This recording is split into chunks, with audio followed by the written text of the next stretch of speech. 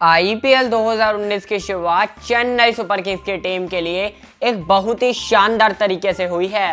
परंतु दोस्तों अपने तीन मैचेस के बाद ही चेन्नई की टीम को एक बहुत ही तगड़ा झटका भी लग चुका है। और दोस्तों, आज की इस वीडियो में हम इस खबर के बारे में पूरे विस्तार से बात करने वाले हैं।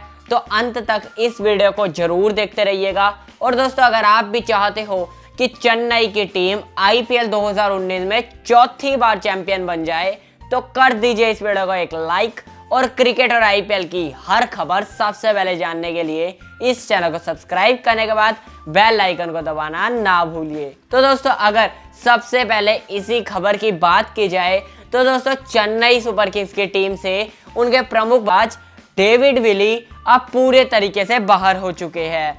दोस्तों, बता दें कि अगर इनके कारण की बात की जाए कि आखिर ये क्यों बार हुए हैं तो दोस्तों, रिपोर्ट्स यही निकल कर आती है कि इनके कुछ पर्सनल रीजंस थे और इसी की वजह से उन्होंने आईपीएल 2019 को शुरू से ही एकदम स्किप कर दिया है। दोस्तों, अब ये देखने वाली बात होगी कि चेन्नई की टीम कौन से खिलाड़ी को उनके स्थान पर रिप्लेस करती है। दोस्तों, आपको क्या लगता है, कौन सा खिलाड़ी उनकी रिप्लेसमेंट के लिए बिल्कुल सूट बैठता है? आप नीचे कमेंट बॉक्स में ज़रूर बताइएगा। इस वीडियो को लाइक और ज़्यादा से ज़्यादा शेयर ज़रूर कीजिएगा। क्रिकेट और आईपीएल की हर खबर सबसे पहले जानने के लिए इस चैनल को सब्सक्राइब करने के बाद बेल आइकन को दबाना ना भूलिएगा। दोस्तों, अगर आप भी क्रिकेट की ये छोटी छोटी खबरें लाइक पर भी पाना चाहते हैं तो आपको करना कुछ नहीं है। डिस्क्रिप्शन में एक लिंक दिया हुआ है।